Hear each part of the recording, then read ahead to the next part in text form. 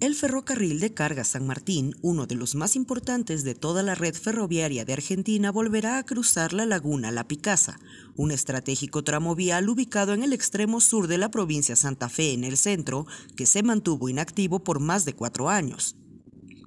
La vía, que había sido clausurada tras una fuerte crecida de la laguna, es actualmente rehabilitada por la empresa estatal Belgrano Cargas y Logística, dependiente del Ministerio de Transporte. Con su restitución se espera mejorar el desempeño del ferrocarril en su labor de trasladar mercancías, principalmente agrícolas, entre las provincias de Mendoza en el oeste y Buenos Aires en el este. El tren de carga San Martín es una de las tres líneas que componen el sistema de ferrocarriles de carga de Argentina, con un importante rol en el traslado de cereales como soya, trigo, cebada y maíz, vino en cajas, agua, piedras empleadas en la construcción, cemento, carbón, bronce, cobre, entre otras.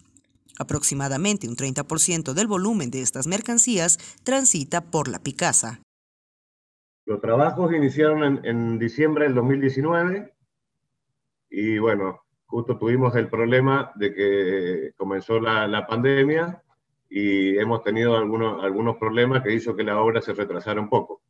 Pero bueno, lo, lo importante destacar es que nunca fue paralizada por este problema, ¿no? Hubieron algunas obras que, que sí se paralizaron, en este caso, eh, si bien el avance fue menor, nunca estuvo paralizada y se siguió avanzando con, con, un ritmo menor, obviamente, pero siempre, siempre se estuvo trabajando.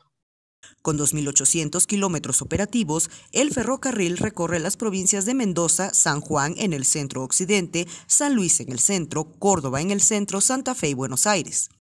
Por su parte, el Pedraplén de la laguna y las vías en proceso de restitución comprenden unos 14 kilómetros desde las estaciones Diego de Alvear y Aarón Castellanos en el distrito santafesino. La rehabilitación de esta infraestructura permitirá ahorrar un día y medio en el tiempo de recorrido del ferrocarril, además de recuperar su trayecto original, destacó el funcionario. Desde el inicio de los trabajos en el año 2019, la inversión para este tramo ha sido de unos 200 millones de pesos, unos 2 millones de dólares, pero las obras de rehabilitación vial se enmarcan en un proyecto más grande de recuperación de la línea San Martín, contemplado en el Plan de Modernización del Transporte Ferroviario.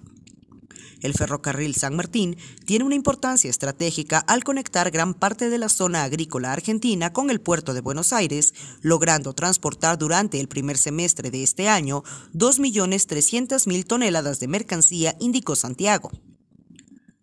Solo entre enero y mayo, el tren logró transportar un 31% más de volumen que en 2020 y un 69% más que en 2019, detalló el Ministerio de Transporte. Con información de la oficina en Buenos Aires, Argentina, Noticias Xinhua.